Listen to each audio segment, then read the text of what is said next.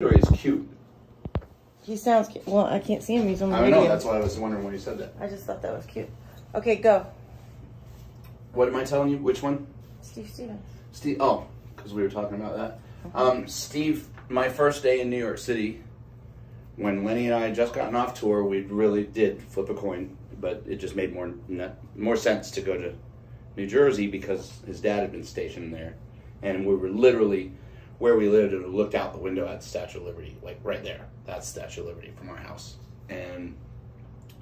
So my first day there, after we got off the plane and got settled in and had a meal and nap and stuff, wanted to go into the city, wanted to go to New York. Got on a bus, rode in Jersey City. We were in Bayonne, went in Jersey City into the Holland Tunnel, came out the other side. You're in traffic, you really can't see anything. It doesn't open up until you turn. There's a big bank that you turn around the corner. Not a bank building, a bank you can turn. And you wind up right there, that's 42nd Street. You're at the end of 42nd Street, right by 11th Avenue, West Side Highway. That's the SS Intrepid is moored there. And it's a big battleship. Right next to it is big amphitheater. Wound up a few years later playing that band show. We played there with Rick Derringer. We played there with a lot of people right there at the end of 42nd Street with the Intrepid right there. It was badass. But uh, I went into the city and I wanted to go to Sam Ash. I wanted to go. We didn't have any equipment because we lost our endorsement deals when we went off the road. So we literally had nothing.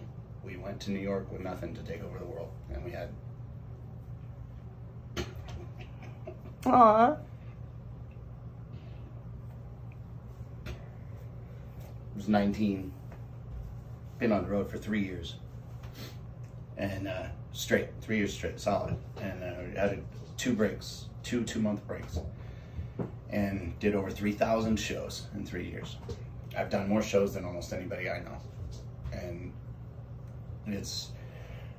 So I went in the city and we had nothing and we were just like, what? I don't know what we're going to do, but I got to see what we're up against because I hadn't had to buy anything. My parents bought me my first bass and I went on the road and I am a Peavey in Dorsey. Now I don't have any equipment, I don't have anything. And uh, a couple days later, I got a, a BC Rich Mockingbird in the mail. My dad went and got it. Aw. Got me a real. He asked his friends, "What's the best?" He didn't know what's the best. So this, my friend at work said, "This one's the best bass in the world." And, uh, so, so he bought it. He bought it for um, six hundred bucks then. 1985 That's beautiful. and it was made in the 70s. It was early 70s. It was a real Rico. It was a handmade one. But anyway, I went into Sam Ash to go see what things were going to cost, and we didn't know what we were doing when we were walking in. There's Steve Stevens. Wow. I was looking at him, and he's this big, with his hair. Like he's tiny, little guy, big hair, patent leather, the whole thing, full on eyeliner, walking around. And I knew who he was, and he was famous already, but they weren't like ridiculous. They were starting to happen. It was starting to be a big deal. It was a big deal that he was there, but nobody's bothering. You know, he was just walking around the store, and I'm like, that's said, Steve Stevens. I said, yeah. And he was nice. I like it. He was a good guy. And then I wound up playing with him and this other drummer that played with Pat Travers, and another guy. I don't, remember his name, but I think I um, think his name was Pat too for some reason. I think he's a famous drummer, but he looked like it.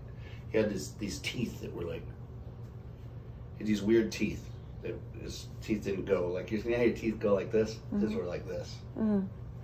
and he um, and he played real real low in his head. But he's if I saw him again, I would know. But I played with him. It was at Ace Frehley's birthday party at a place called the Bank, and I got this invite. And I'm like, "What's this?" And I go, and a couple other guys, and they go, "You're the bass player." I said, "Yeah." So I went up there, and there's this Pat guy. That's Steve Stevens, and Ace Frehley was there. So I got to play at Ace Frehley's birthday party. And you were flipping out? Yeah. I saw him in the room, but didn't get to talk to him or anything. I wasn't. Didn't think I was cool enough to actually go over and pull it off. I wound up in a lot of situations I found out later, like, oh, look, I was cool enough. That guy became somebody. He was hanging around me forever. I was the cool guy in that situation until he got famous, fucker. There's a lot of those. Misdemeanor. The chick, lead singer awesome. from Misdemeanor was dating Joe Belladonna from from Anthrax, so he would show up at their shows. So, because his girlfriend is the lead singer of the band, it was like so their shows would get really packed, and they would be like, you know, and they wound up they got a guest. They were the band on some late night talk show, a national one, a real one, but it was on a cable thing, so it was very short lived. There was a lot of cross pollinating going on. Rob Steele from Law and Order was playing with Cycle Sluts from Hell, which turned into um, Circus of Power, which turned into, there was all these bands that had hits that you might not know of, but you'd know the song if I played it. And like there was a lot of them, and there was a lot of bands, and it was all going on there. And the LA bands just seemed so fluff, you know, like Cruthling. I read the book and all that, and it's like God, it was so seedy and dirty and everything it was seedy and dirty in New York too, but we were like men. You know what I mean? It was there wasn't anybody trying to be pretty. We looked freaky and we had the hair like that, but we was not trying to look pretty. We were trying to look scary. It was trying to look like what the fuck is that? You know? And we weren't and it wasn't even like a concerted thing. It was just how fucking high can how tall can I be? How how tall can I be up there? That's really about what it was. How how much how outlandish can we be?